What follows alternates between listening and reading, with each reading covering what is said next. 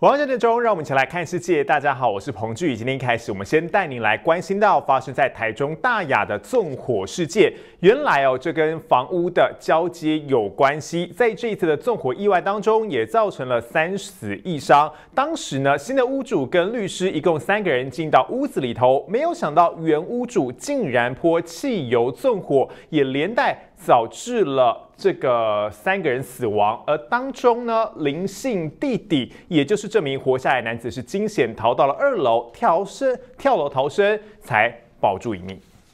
哦，怎么倒位啊？倒位啊！哇！哇！这种个看嘛知影是迄个。那个发汽油就汽油弹，就是迄个啦。我这会得到足紧的呢。足紧的，所以讲其他人都走不出来，就是那来啊。邻居的监视器拍下纵火之后，透天厝一楼烧了起来，烈焰浓烟瞬间笼罩了民宅，好可怕哦！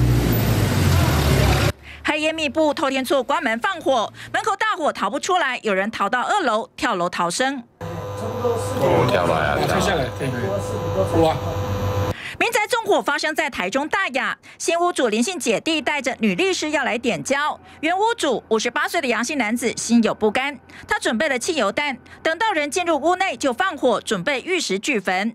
当时屋内四个人，造成了三人死亡，唯一脱困的是三十三岁的弟弟林姓男子。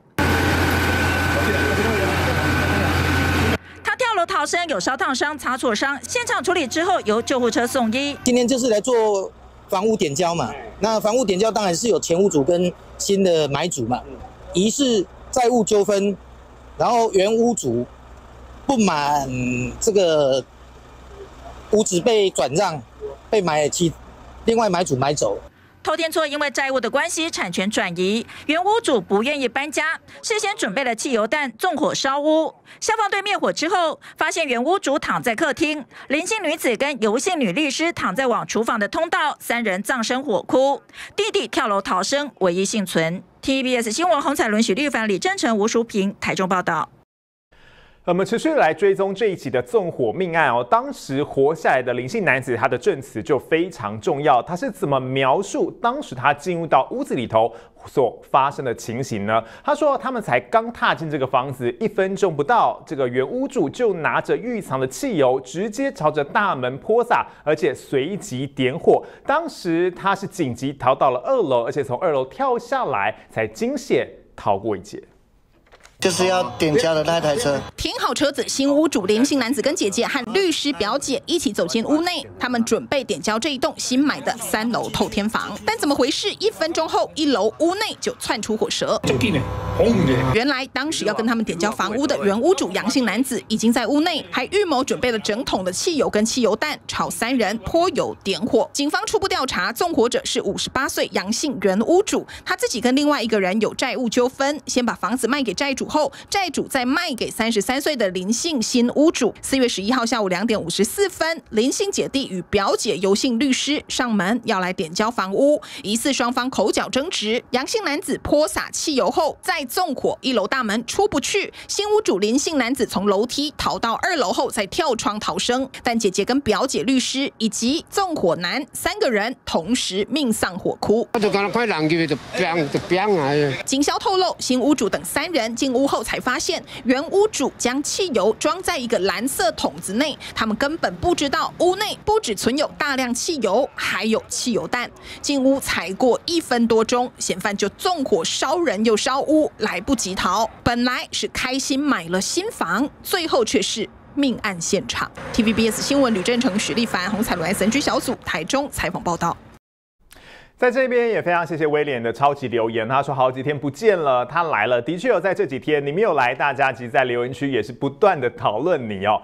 但是我们要来看到，现在强震已经来到了第九天了，当然现在对灾民来说心情是非常煎熬的，尤其现在天王星大楼是持续在进行拆除作业，但是大楼主委其实心里有非常多的委屈，因为呢在这几天，包括当地的里长不断的接受接到了这。这个爱猫人士的电话，认为说，在这个猫完全没有救出来状况之下，你们不可以拆。而这个主委听在耳里，当然心里也非常焦急。他说自己不是不爱猫，而是如果现在不拆，到时候又要谁来帮他付拆除费用的钱呢？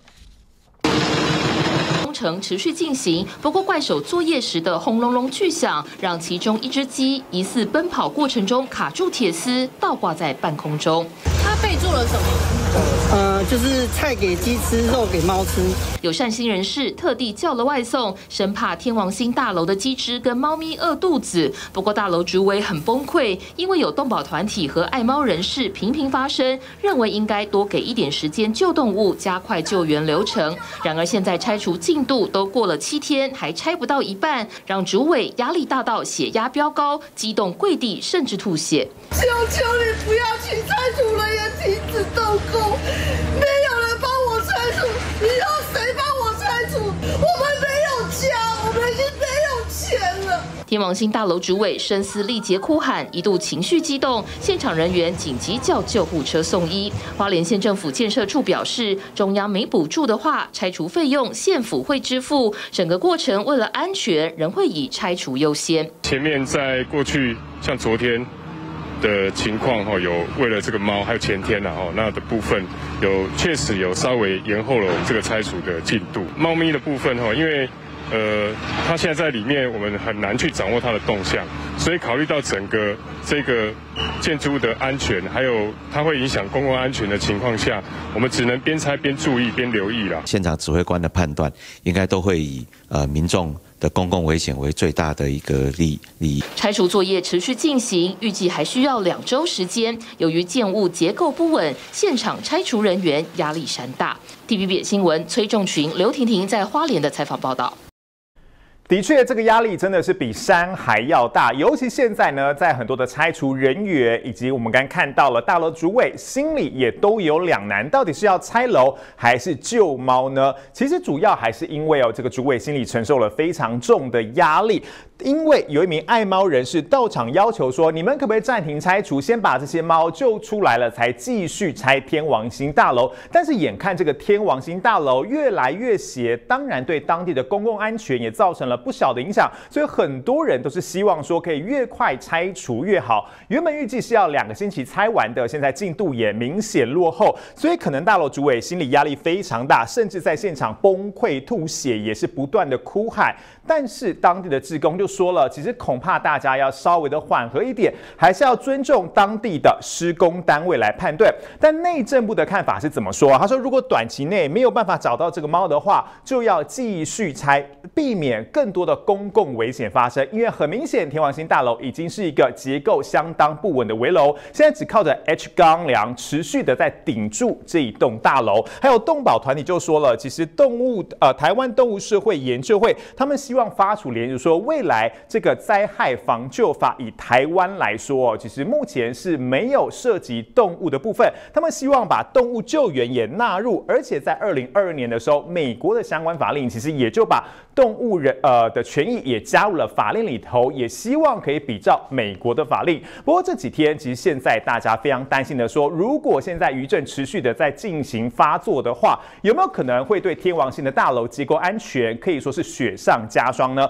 最新的数据来看到了，包括现在主震加余震，总共来到了八百四十四起。气象署就说了，虽然说目前看起来余震是有逐渐缓和的趋势，但是千万不可以掉以轻心，因为呢，包括这两个月还是余震发生的密集时间点，都要小心这个规模较大的余震，而且这样子震的时间恐怕会时间拉长，来到一年，所以大家一定都还是要特别注意。不过，其实，在余震发生的时候，其实很多的拆除人员。心也嘎嘎的，尤其是驾驶吊车还有拆除重机械的这些驾驶员们来说，边拆边遇到余震都非常的紧张。我们一起来看看他所拍摄的第一手画面。第一。视角坐在吊车内，小心翼翼操作吊臂，将搜救人员和诱捕笼精准送到倾斜的天王星大楼旁，救出受困的猫咪。就算是遇到余震，钢梁不断晃动，吊车驾驶还是坚守岗位，守在车内，等到余震结束后继续赶工。从早到晚，风雨无阻，就是希望能够让搜救和拆除工作顺利进行。花莲大地震造成天王星大楼半倒，随后进行拆除作业。吊车将 H 型钢梁吊起，支撑在大楼旁。吊车公司老板罗先生在操作时全神贯注，一秒都不敢松懈。从他的角度记录惊险的每个瞬间。因为那个花岗街，它呃它的路宽比较小，所以他们要撑的那个地可能可能有限啊。其实大家都在说，为什么装那么慢，装那么慢？其实因为那个地很小啊，你要撑那个的，就是撑那个的角度会不同啊，所以所以就是也是就是也是有难度。因为现场阻碍重重，实际操作吊车将钢梁放在正确的位置，并不是大家以为的那么简单。罗先生希望民众可以体谅，而他对于抢救猫咪的过程也很有感。因为我家有养猫，所以就是我也是能体会他们的那个就是他们的心情，所以我就想说快点来帮忙。能感同身受猫咪主人焦急的心情，尽全力寻找。不过身处在最危险的现场，免不了恐惧。其实我们开吊车也没办法跑啊，如果真的倒了还是什么，也只能也对啊，也只能认命。对，也是会怕啦。其实大家都对，大家都很就是心里都会怕，而且大家都很辛苦。嗯虽然害怕，但还是坦然面对一切事情的发生。现在对他来说，最重要的就是希望天王星大楼的作业能够平安结束。TVB 新闻综合报道。其实对所有人来说，如果人类跟动物都能平平安安，当然是最好的结局。但是其实现在我们要特别注意到是台湾猕猴，尤其在这一次的地震当中，我们可以发现到很多人罹难的地点都在沙卡当步道这边，尤其是前段跟中段。但是你可能不知道，在这个前段跟中段的部分呢，本身在这里有相当多的台湾猕猴聚落，全段呢就有三十七群次，在前段跟中段的部分就有三十一群次，这些条。猕猴哦，平常都在树上活动，而且花莲一天到晚都地震，他们其实已经非常习惯的。但是呢，其实我们这一次可以看到说。地震这么严重，很多的专家，尤其是这位文化大学系呃文化大学观光系的助理教授卢坚富，他就说了，这些台湾猕猴恐怕凶多吉少。如果可以避劫存活的话，很快就能适应。但是其实现在哦，大家也都很关心这些动物的群权益，也希望他们可以平平安安的。但是在地震发生当下，大家特别关注的就是呢，身体比较脆弱的这一群。你看到这个画面呢，就在慈济医院里。里头小儿加护病房，在第一时间，这些护理师们是直接冲到了这个病床旁边，护着这些小朋友、小病患，就是担心他们在这一次的地震当中会受到更多伤害，也展现了护理师伟大一面。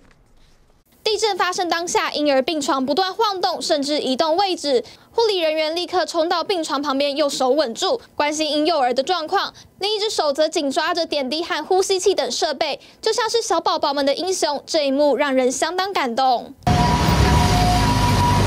三号花莲强震，慈济医院小儿加护病房有十三名婴幼儿病患。很幸运的是，当时七名大夜班和八名白班的护理师正在交接班，所以都在现场。地震发生当下，两班人力充足，一人护住一床的小病患。其实当下，呃，同仁都蛮互相合作，就是赶紧去照顾。就是安抚他们的自己的病人这样子，所以当下我们真的有吓到，因为在摇晃的过程中，我们也不知道小朋友会不会被抛出床外之类的，所以我们重点还是要保护呃住院中的病人。地牛大翻身，护理人员第一时间不是往门外逃命，而是冲向病床保护幼童的安全。一方面也是担心小朋友的安危啦，就是怕如果上面有天花板掉下来，或者是。嗯，机器掉下来也有可能，所以就是怕，因为大人受一点伤没关系啊，小朋友不能受伤，一定会害怕啦。但是就觉得保护小朋友第一优先，我觉得他们很棒，对，还帮我们保护宝宝，很感动啊。因为有护理人员用尽全力保护孩子们，才让他们都平安无事。而这次的地震也造成医院部分财损，目前仍在评估中。不过院方也澄清，并非外传的高达上千万元，而他们也会努力修复，让民众能够放心。TVB 新闻高志荣、陈家彤花莲采访报道。其实，在四月十号这一天哦，其实在全球上特别关注到两个重点，一个就是马习二会，再来就是美日峰会。其实，在这一次的美沪峰会当中，非常明确的就是要剑指中国大陆。但其以中国大陆现在呢，也透过马习二会展开大外宣之外，同时也可以说是展开大内宣。因为呢，在央视的重点晚间时段，是连续两天头条播报了马习二会的消息，甚至呢，在这一次的会议。当中哦，这个肖旭成也是马英九的基金会执行长，在受访的时候特别强调说，九二共识是帮助两岸走在一起的共同政治基础。但其实这个时间点真的非常巧合。我们先来看看，在美日峰会当中到底谈了什么。当然，在这一次的。呃，峰会当中主要还是希望美日双方可以升级为一个军事同盟，而且提升在和平时间或是在紧急时间，双方在军事方面的互相操作性，而且当然非常密切要协调。就如果在今天中国想要片面改变现状的话，这些中国挑战他们要来如何应对？而且在这一则峰会也一再强调说，如果在今天中国大陆想要片面的武力来胁迫改变现状的话，就要。果断的回应，甚至在这一次的峰会当中也提及到，在印太地区比较紧绷的情势当中，也就包含了台海，主动提及台湾和平稳定的重要性之外，也特别点到了南海局势必须要来共同应对。而为什么在这一次的包括马歇尔会跟美日峰会当中，时间怎么这么巧，刚刚好就在同一天举办呢？其实美国的专家是怎么看的？美国的前中中国事务主任何瑞恩就。说了，其实美国升级在亚洲的同盟关系，让北京展现到了这个，应该让北京感受到有一种被孤立的威胁。但是呢，透过马习二会，他要展现的是我没有被孤立，而且判断说，在这一次的马习二会当中，这个两岸关系是不会有任何改变的。到底时间是不是刻意的？还是巧合呢？以他的看法来说，根本不是巧合。而且呢，在拜登四度说要协防台湾，他也认为说是认真的。再来，共和党的众议员盖拉格也说了，美国必须要采取紧急行动，要确保台湾不会走上了这个乌克兰的命运，变成被下一个专制政权侵略的目标。但其实现在哦，除了美日峰会之外，接下来还有美日非三国峰会，大家也都在聚焦说，到底要谈。什么？不过在这次美日峰会上，在国宴上呢，其实也流露出从这个布景就可以发现，说是满满的日本风情哦。而且日本首相岸田文雄也意有所指的引用了《星际争霸战》里头的台词，他说：“美日两国要勇敢走向前人所未知的领域，也为新的美日关系揭开新的篇章。”美国总统拜登盛大设宴款待日本首相岸田文雄，只是当拜登邀请大家举杯敬酒时，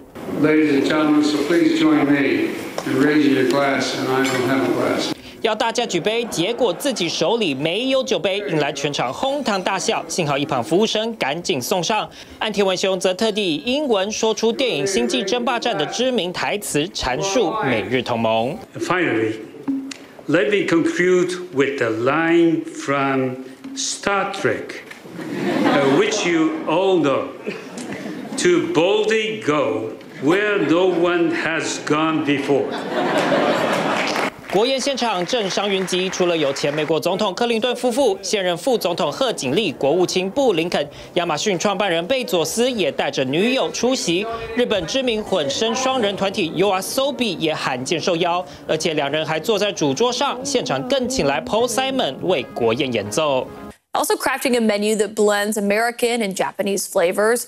The California roll inspired starter, dry aged ribeye steak with a shishito pepper butter for the main.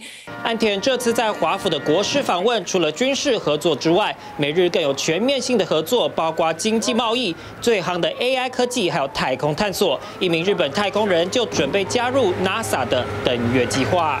70, 70, 70 agreements on defense cooperation were made, including moves to upgrade their military command structures to boost coordination. 尽管拜登与岸田这回峰会主要剑指中国大陆， 路但北韩显然也觉得备受威胁。金正恩就以周边地缘政治不稳定为由，下令三军全面备战。TBS 新闻综合报道。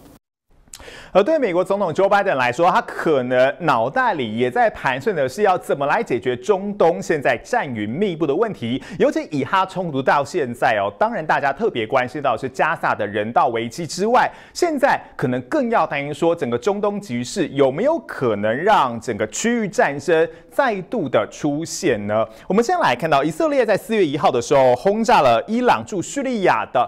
领事馆的外馆，而且当中哦，革命卫队的高层指挥官总共造成了十二人死亡。这一次的攻击行动，当然让伊朗非常不满，因为说你竟然炸掉我的领事馆，炸掉我的外馆，当然对我的这个国家主权是一个非常重大的威胁。在事发的第一时间，其实伊朗就保持一个非常不满，而且说一定会报复。现在再讲一次，伊朗的最高领袖哈米尼就说了，他视同了领土被攻击，而且在第电视谈话当中也说，我一定都会报复，等于说不止一次流露出报复的态度。但是以彭博社来说，其实恐怕还真的有可能让整个战事再度升温。包括美国跟盟友都评估说，伊朗或是他的代理人在这几天就有可能展开大规模的飞弹或是无人机攻击。目标在哪里呢？可能会攻击的地方是以色列的军事基地或是政府机关，用的是高精准的飞弹，避免伤及无。估，尤其最重要的是要避开平民，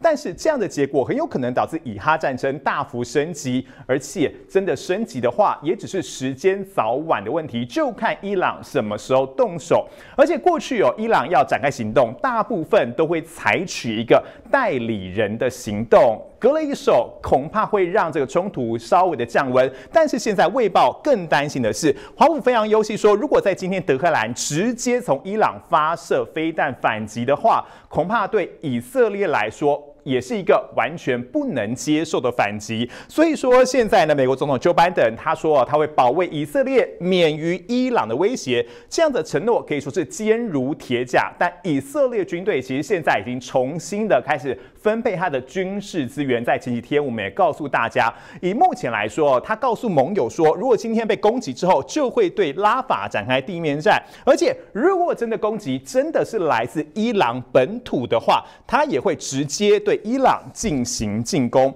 但其实哦，在穆斯林的国家来说，现在欢庆的是开斋节，因为斋戒月好不容易结束了。但是对加沙地区来说，他们依旧是面临到是人道危机。第一个还是持续的饥荒状况之外，在连环的炮火之下，也让在这一次呢，这个哈马斯政治领袖哈尼亚的三名成年儿子。其实，在这一次的攻击当中，连环炮火也让他们被击毙了。而哈尼亚呢，是以哈停火协议当中的谈判员之一。我们知道，在这一次的开罗协议当中，停火的协议并没有完全的谈成，可以说是破局了，也让哈马斯跟以色列再度的进入到敌对局面。知道这个消息呢，哈尼亚他就说了，以色列就算杀了他的儿子，他也不会改变立场。而且在加萨地区的饥荒情况有多严重呢？我们用热量来计算的话，数十万的人口每天平均摄取的热量只有两百多卡。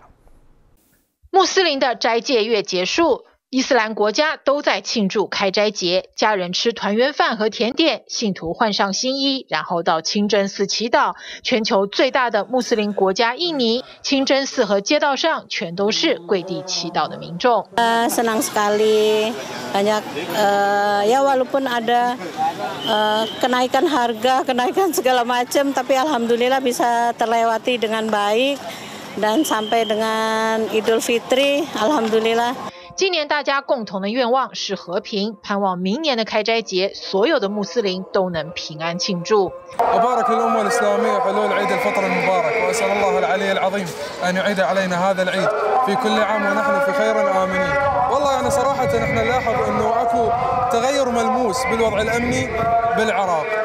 أبارك الأمة الإسلامية حلول عيد الفطر المبارك وأسأل الله العلي العظيم أن يعيد علينا هذا العيد في كل عام ونحن في خير آمنين. والله أنا صراحة نحن نلاحظ أنه أكو تغير ملموس بالوضع الأمني بالعراق ونسأل الله يديمها. 战火摧残下的加萨地区，开斋节没有欢乐，只有满满的悲伤。民众奢望的团圆是能在瓦砾堆下找到往生的亲人。少女为庆祝开斋节准备的新衣被压在瓦砾堆下，她难掩失望，但能活着就很幸运，哪敢再奢求其他？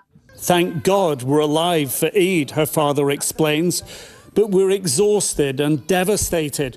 We should be in our home, comfortable, eating, celebrating. 加萨上百万流离失所的巴勒斯坦人只能找最近的清真寺祈祷。以军并没有因为开斋节而停止轰炸，但就算是冒着性命危险，他们仍坚持聚集在一起完成开斋节仪式。We insisted on praying inside Rafah's Farouk Mosque, so all the world knows that we are holding on to our mosques, to our land, to our country. 加萨妇女用国际慈善团体捐赠的面粉制作开斋节点心，里面放了椰枣、芝麻和茴香，至少要让孩子们感受到一点节庆的快乐。We're trying to make our kids happy, remind them of the smell of Eid, Aklan Salah says. They didn't get the traditional new clothes. There is no joy for Eid, no balloons, no sweets. 开斋节也是扫墓的日子，墓地放眼望去都是新坟，亲人围坐在一起，沉默着，没有眼泪和悲伤。面对残酷的战争，他们无言以对。My kids lost their father, she says. When I told them I was going to visit his grave, they told me, Mum, we want to come visit Baba. This little one was banging on the stone, saying, I want to see Baba. He said, Who's going to celebrate Eid with me? 以军在开斋节持续炮轰加萨的难民营，还击毙了哈马斯政治领袖、前巴勒斯坦总理哈尼亚的三名成年儿子，他们都是哈马斯的特工人员。The three men were traveling in a single vehicle in Gaza City when they were hit, and officials say that three of their children also died. Now, these three men are among the highest profile targets to be hit by Israel during six months of war against Hamas. The airstrike also comes at a sensitive time as Israel and Hamas are engaged in ceasefire talks. 空袭发生时，哈尼亚正访问多哈一家医院，幕僚收到消息后告知噩耗，哈尼亚低头看着地板， 没有显露悲伤。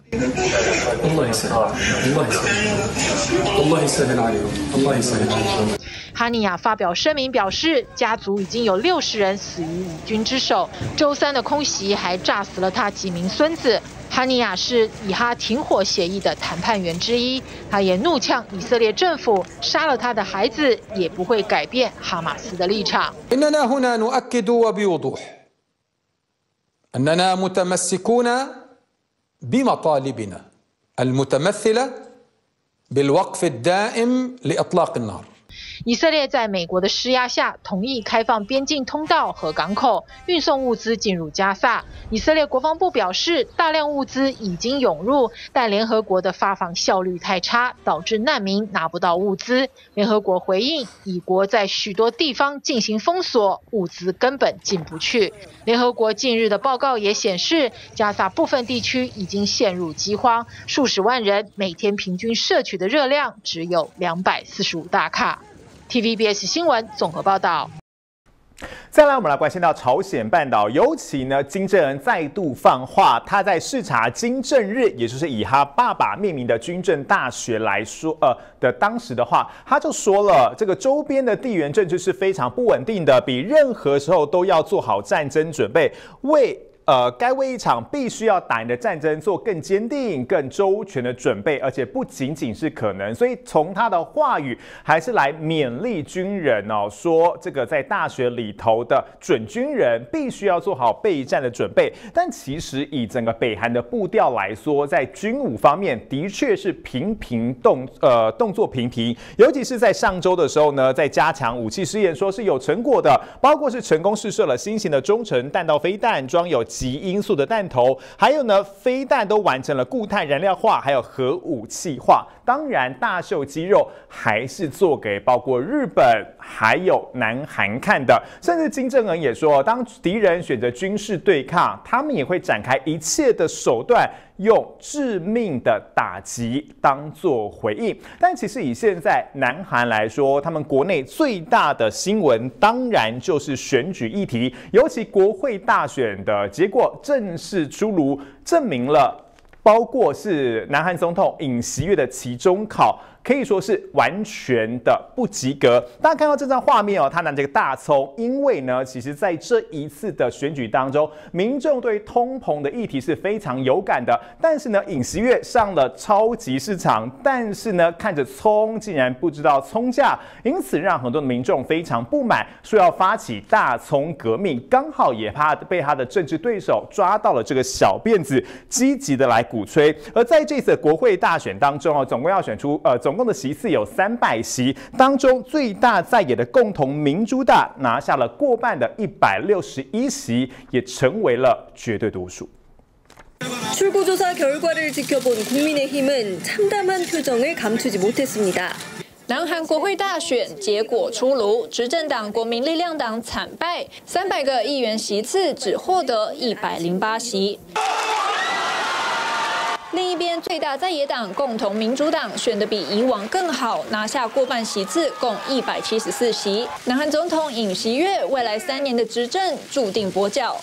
원내일당으로서새국회의국회의장자리를차지하는것은물론법제사법위원장을탈원하는데주력할것으로보입니다 南韩国务总理韩植洙和执政党临时领导人韩东勋在败选后相继辞职。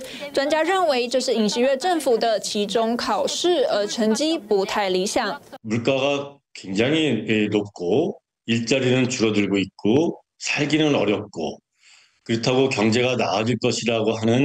上个月，尹锡悦参观超市，以为价格只要三分之一的特价葱是正常价格，被酸吃葱不知葱价，民众的怒火烧成大葱革命，直接反映在选票上。그간수많은실정과비리에대해국민들께사과하십시오这次选举的黑马是前法务部长曹国所组成的祖国革命党，上个月才成立就一举拿下十二个席次，成为国会的第三大党。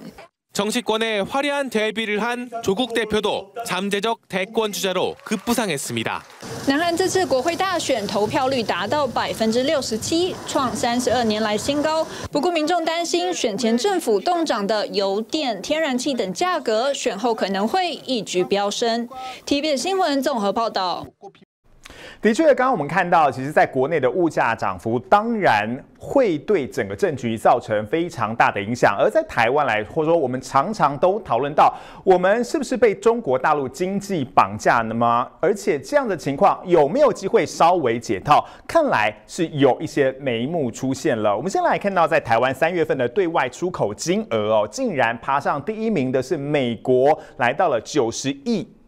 呃，九十一亿的美元，增加了将近六成五之多。排名第二的是中国大陆，七十九亿美元，跟去年同期相比，只增长了六个百分点。这样落差，大家看起来就非常大。这样的情况啊，是在二零零三年来第一次出现。等于说，其实我们现在最大的出口贸易的国家就是美国。当然，就是三月份的数字。但是为什么会有这样的情况发现呢？主要还是跟美国调整他们国内的进口。产品的产地是有关系的，其实连带影响到了全球很多的国家的这个贸易洗牌，像是美国减少依赖中国大陆制造的商品，引发了全球贸易关系的重新调整。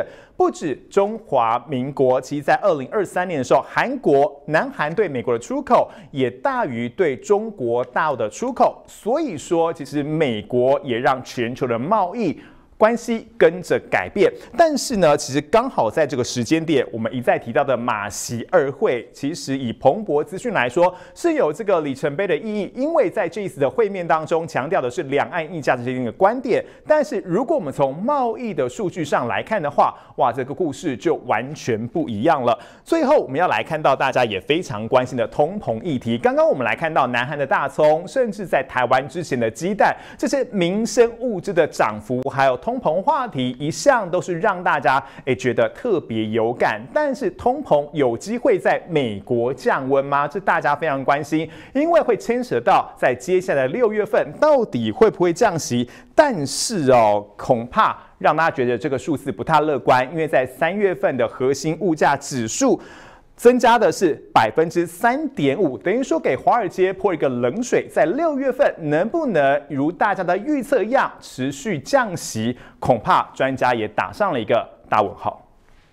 This has definitely been a setback. This is not good news. 这项坏消息就是美国劳工部统计局最新公布，美国三月消费者物价指数 CPI 明显回温，年增百分之三点五，不但超出预期，还创下六个月以来的最大增幅。Consumers continue to feel the pinch. I think consumers continue to compare prices. to sort of pre-COVID or two or three years ago. 以类别来看，整体食品杂货价格与前一个月持平，但依然比一年前高出百分之一点二。至于推高上个月物价的最大元凶，则是汽油和住房，贡献超过一半的通膨增幅。The things that we pay for outside of the grocery store also affect the money we have left to spend on groceries, right? So if we have to spend more on gasoline, um, if our auto insurance uh, becomes more expensive, if our housing becomes more expensive. 以汽车保险来说，费用比前一个月多出百分之二点六，更比一年前大增百分之二十二。至于最关键的汽油价格，则比前一个月增加百分之一点七。分析师表示，美国有超过百分之五十五的炼油产能都分布在墨西哥湾沿岸地区。而这些种植原油价格在最近几个星期攀升。Yes, so oil prices today remain elevated. We still think it's a very difficult environment in terms of supply and demand. So higher oil prices are just a weight on the consumer. They function just like a tax hike would. 再加上俄罗斯石油减产幅度超出预期，加速美国汽油价格上涨，当中加州民众成了最大苦主。I I came in, I looked at the prices, and I was in utter disbelief. I still can't believe I am accepting these prices. 根据全美汽车协会，加州的油价在过去八个星期每加仑飙升七十美分，成为目前唯一一个价格破五字头的州。To fill this vehicle up, it used to cost approximately sixty dollars. Now, no less than eighty, and that gets me just shy of four hundred miles of range. 加州油价之所以高居全美之首，被认为是因为有自己的混合汽油。 再加上高税金，以及目前还有好几座炼油厂正在进行保养维护，当中又以纳帕谷、旧金山等五座加州城市的车主最能感受到这波油价上涨的威力。In my opinion, there is no reason for it to be this expensive. I saw y'all out here, and I knew it had to be about the gas prices. It's just way too expensive, but it's like, again, what are you gonna do? We can't control the prices. 加州民众无法控制的还有房屋价格。It's location, location, location。位在戏谷黄金地段，库比蒂诺的这栋独栋别墅正在打广告求售。从外头看上去似乎挺舒适，但空间只有十平左右，比一般美国的饭店房间大一点点。It's unique because you know there there are so few choices for buyers these days because um, sellers really like to live here. 这栋位在五尾巷的小屋，打出一百七十万美元的售价，和台币超过五千四百万。但由于对比附近的房价至少都要五百万美元起跳，还是吸引不少人上门询问。This home has a lot of interest because of the lot size and the neighborhood.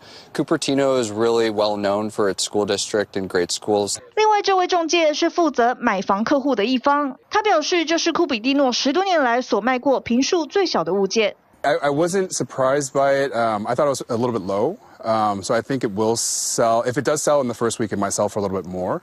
尽管根据最近一份二月的数据，全美独栋新屋的销量意外下滑百分之零点三，但在中古屋长期短缺的情况下，基本住房行情还是看涨。That's right. We still have short inventory, short housing inventories, and as we heard in the jobs report, we still don't have enough people hired yet.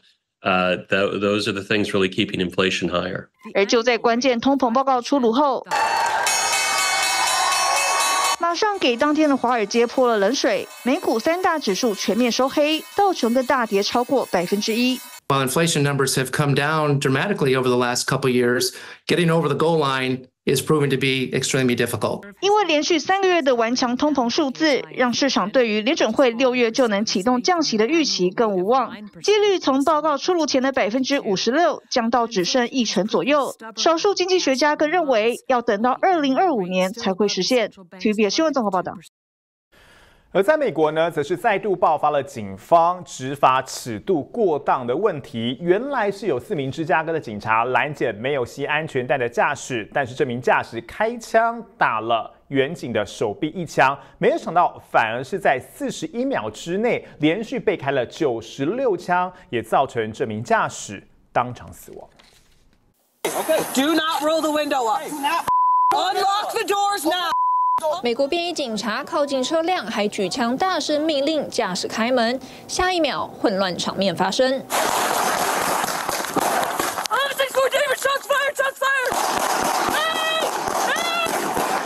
短短十秒内，至少二十声枪响，激烈的搏火场面还被附近民居拍了下来。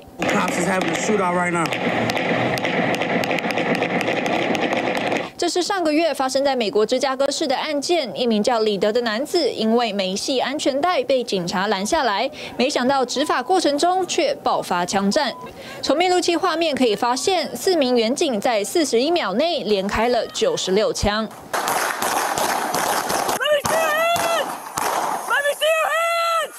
尽管警察调查后表示是李德先朝远警手臂开枪，他们才反击。只是李德下车后，尽管没有携带武器，把枪留在车内座位，却依然被乱枪打死，让人质疑美国警方是否有执法过当。He's already dead. Why you study shooting him like that? They killed my son and they killed me too.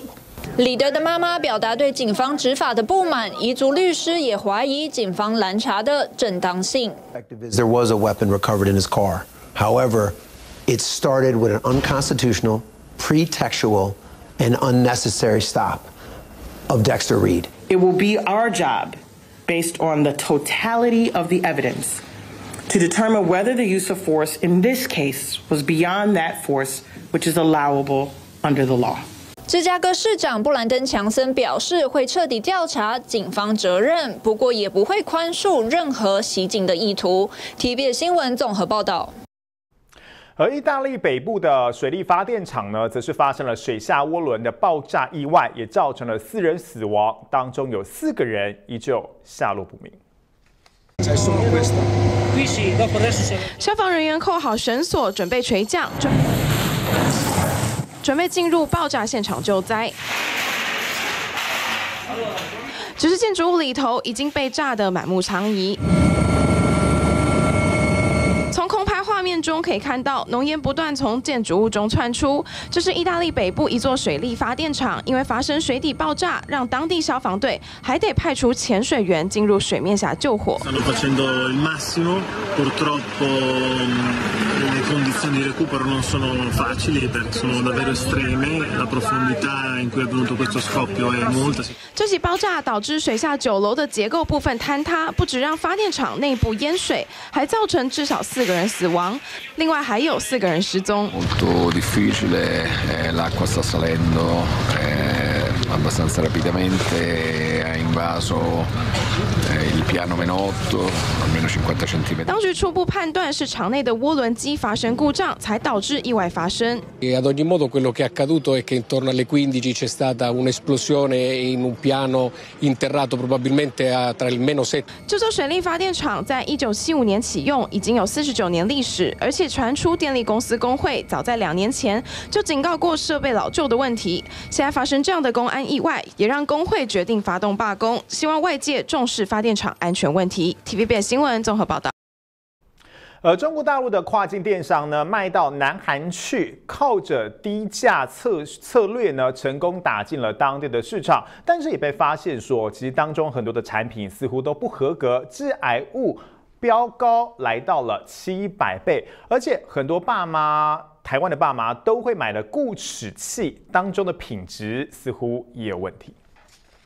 台湾爸妈也会买的香蕉造型细胶固齿器，让小婴儿咬着玩，可用来清洁牙齿，还有抚慰功能。但南韩检测后发现，从大陆电商平台出货的固齿器材质会碎裂，放入口中容易有窒息风险。 특히 유아들이 사용하는 치발기의 경우 유아가 물고 씹을 때 작은 조각 발생이 가능하고 그 작은 조각이 기도를 막을 수 있어 안전 요건에 부적합 판정을 받았습니다. 大陆阿里巴巴旗下的跨境电商速卖通和拼多多旗下的 Temu，因为东西超便宜，去年打进南韩市场后，短短半年销售额就暴增百分之一百三十。但南韩检测机构踢爆，这些平台贩售的部分戒指、项链当中的致癌物竟然超标七百倍，被勒令停止贩售。 인천 본부세관은 평균 2,000원대의 저가 장신구 404개를 분석한 결과 24%인 96개에서 기준치를 초과하는 카드뮴과 납 등의 발암 물질이 나왔습니다. 十副耳环中有四副被验出重金属超标，十个戒指样本中也有三个重金属超标，不合格率高达两成以上。除了成分堪虑，大陆电商假货横行，同样让投诉案件暴增。 호랑이 캐릭터 발매트를 7,000원대에 팔고 있는데 우리나라 캐릭터 상품을 베낀 짝퉁입니다. 지난해 대대적인 한국 시장 확장을 예고하며 짝퉁 근절을 외쳤지만 말뿐이었던 겁니다.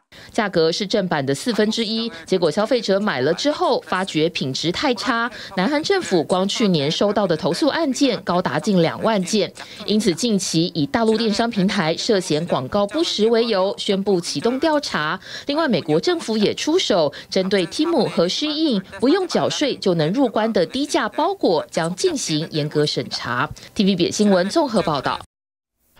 买东西最讨厌商家这个增加重量，用来呢换取更多的金钱。但是在中国大陆哦，这个一名打假博主就遇到了这样的遭遇。他发现说，店家卖的五斤小龙虾竟然不到新台币四百五十块，他觉得非常好奇，也觉得当中有鬼，因此呢就特别去称了重量。没有想到，竟然发现说店家是偷斤减两，他也打电话举报，但是也没想到惹怒了店家老板，双方就打了起来。一群人在店里拉拉扯扯，要出去理论。原来是大陆一名打假博主，花了新台币四百四十块，跟苏州昆山市的这家餐厅买了五斤小龙虾。结果这名打假博主当场称重，发现被偷斤减两，店家只给了三斤。他立刻拨打消费者申诉热线举报，让老板瞬间暴怒。老板使出超派铁拳，恶狠狠掐住打假博主书信男子的脖子，挥舞拳头暴打。结果书信男子脸上挂彩，疑似脑震荡，当场报警处理。那个龙虾嘛，他是宣称是九十九元五斤，测了一下只有三斤一两。分打幺二三幺五举报的途中嘛，老板就过来就开始打人，就开始抢手机。大陆食安问题频传，另一名男子则是吃到假的酸菜鱼。点了份酸菜鱼，本来我想咬的，但是咬啊，你看也咬不动，然后用手撕，也撕不动。大陆知名酸菜鱼品牌东大方竟然出现假鱼片，男子嚼不动，怀疑鱼片是塑胶做的，店家这么回应：可能烧的时间稍微长一点，因为鱼肉的东西啊，稍微烧了过个十秒、二十秒都不一样，鱼稍微稍微老了一点。民众把假鱼片拿去实验室鉴定，结果发现鱼片根本是塑胶。塑料，冒的是黑烟啊，对，有一股刺鼻的气味啊，塑料的味道。这间酸菜鱼连锁品牌出面道歉，表示是员工不小心把模型鱼片混进菜里，已经向消费者道歉，进行后续赔偿。TVB 新闻综合报道。而在历经了水源事件之后呢，大谷祥平的清白，让很多人也都希望说，拜托他真的没有做包庇水源的事情。但是现在哦，美国的检方挂保证说，大谷翔平真的是清白的，他是水源事件的受害者，也连带让他挥别相关的阴霾。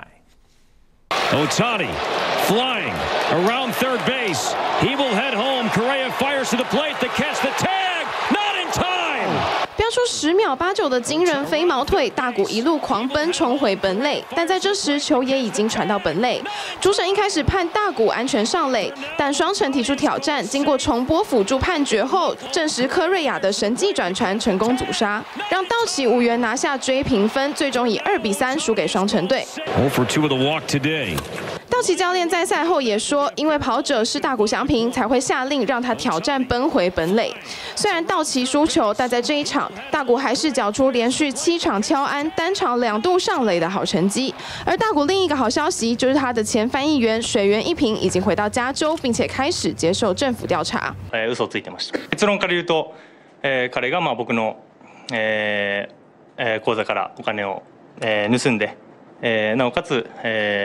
まあ、みんな僕の周りもそうですね。みんなに、えーまあ、嘘をついていたっていうのが、えーまあ、結論から言うとそういうことになります。美国检方掌握证据，显示水源一平擅自更改大谷银行的设定，让大谷无法收到银行通知确认汇款交易的讯息。这也等于证明大谷两星期前在记者会上声称自己不知道账户的钱被偷偷转账的被害说法，终于还大谷清白。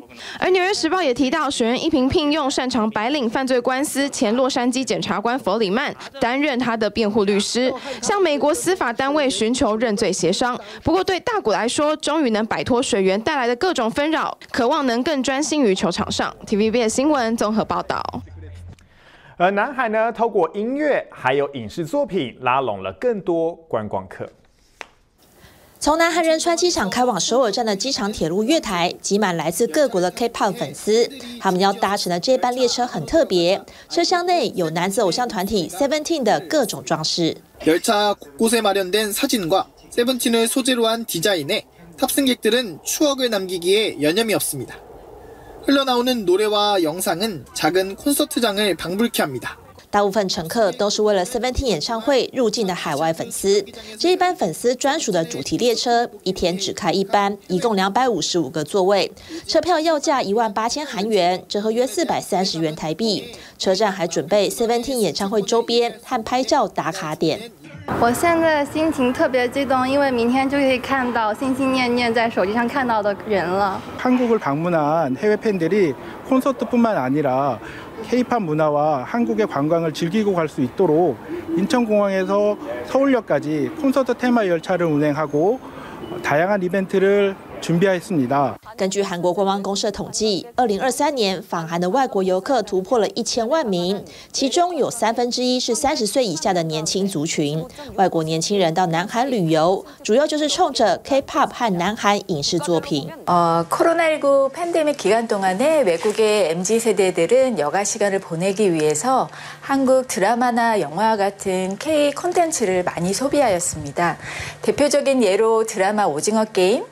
영화 기생충, 또 그룹 BTS나 블랙핑크가 전 세계적으로 폭발적인 인기를 얻게 되었는데요. 이러한 K 콘텐츠의 소비 경험이 한국에 대한 호감도를 높이고 한국을 방문하고 싶은 관광 욕구를 늘리는데 큰 영향을 미친 것으로 분석됩니다. 南韩政府喊话，今年要开启外国游客两千万人时代。去年到南韩旅游的外国游客人数恢复到新冠疫情前的六成，但疫情前最大宗的中国游客只恢复了百分之三十三。 그리고 중국 관- 단체관광 좀 늘으시는지 손님이 아 많지는 않아요? 어 그럼 뭐 요즘엔 주로 어떤 손님들이 많이 들어오세요?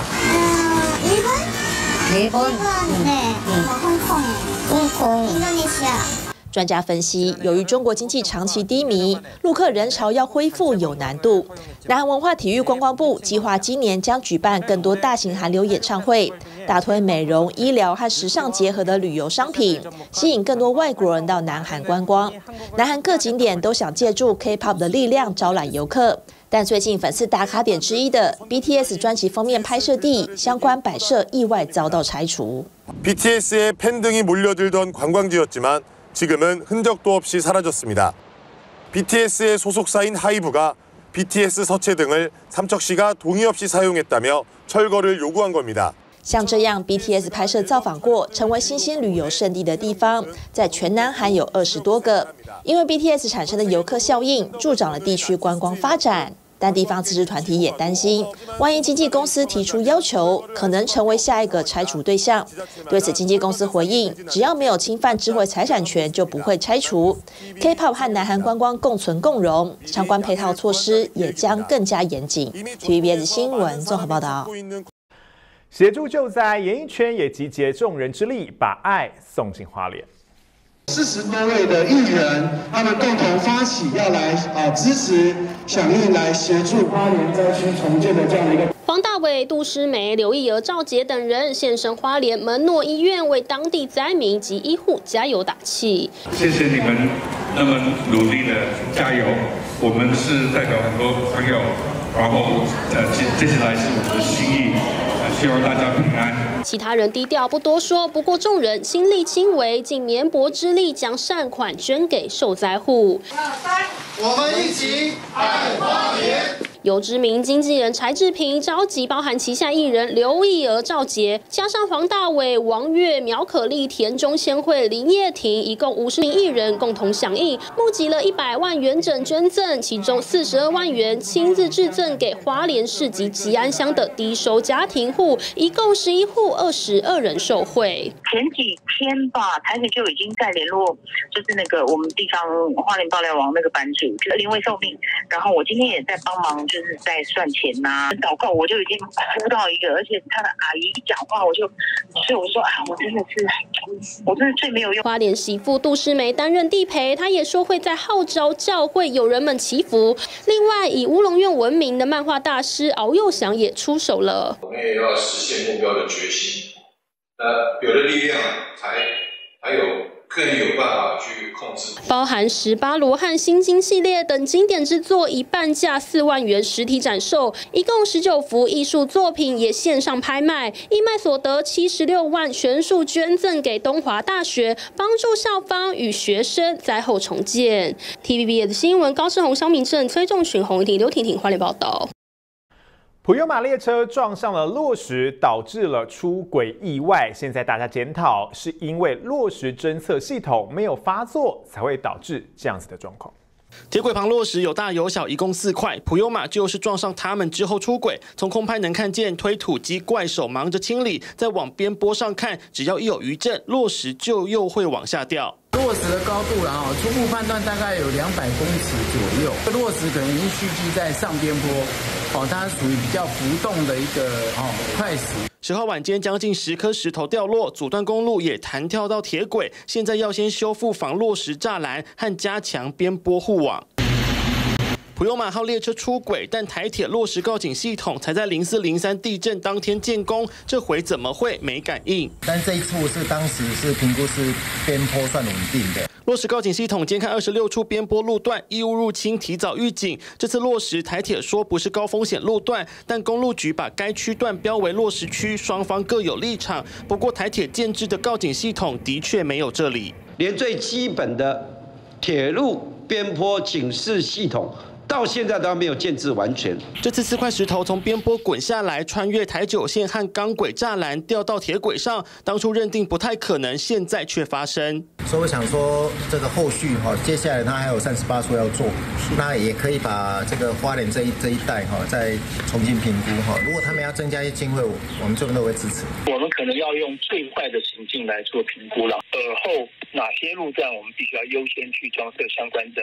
这个侦测预警的这样子一个设备。所幸普悠玛撞击落实当下，列车快进站已经减速，否则最高速度可达到每小时一百六十公里，后果恐怕不堪设想。TVBS 新闻综合报道。TVBS 新闻直播回到 YouTube 频道了，提醒您每周一到周五的晚间七点到九点，由新化主播为各位新闻划重点，记得一定要来参加直播。